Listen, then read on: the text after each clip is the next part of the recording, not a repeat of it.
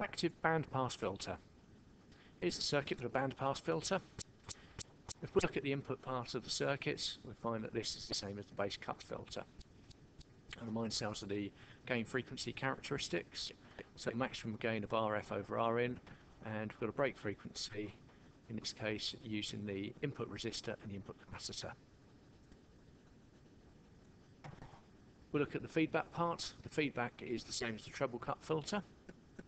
And again, we get a maximum gain of RF over Rin, and this time the break frequency is using the resistor in the and the capacitor in the feedback part of the circuit.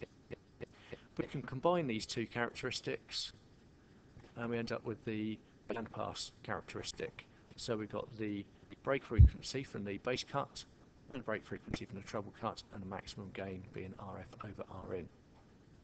Now we're going to look at an example.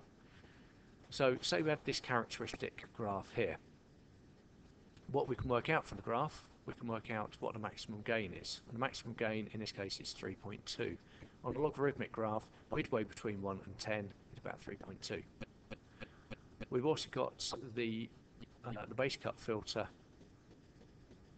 so break frequency there is 10 hertz and for the treble cut filter the break frequency is 1000 hertz. So we've got the characteristics from here. Let's get some values. So we know that the maximum gain is given by RF over Rin. So what we're going to do is rearrange this. So we've got the feedback resistor is going to be the gain times Rin. So feedback resistor is going to be 3.2 times whatever Rin is. And I'd always go for a nice easy value for the input resistor, something like 10k. So we end up with the input resistor being 10k, feedback resistor being 32k.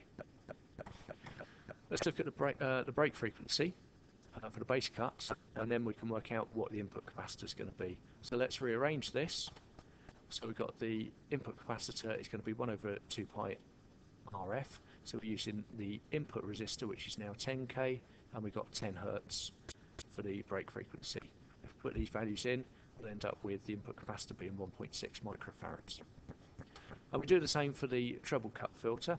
Rearrange that the feedback capacitor is going to be 1 over 2 pi RF, where we're using 32k and 1 kilohertz. If we put those values in, we should end up with 5 nanofarads.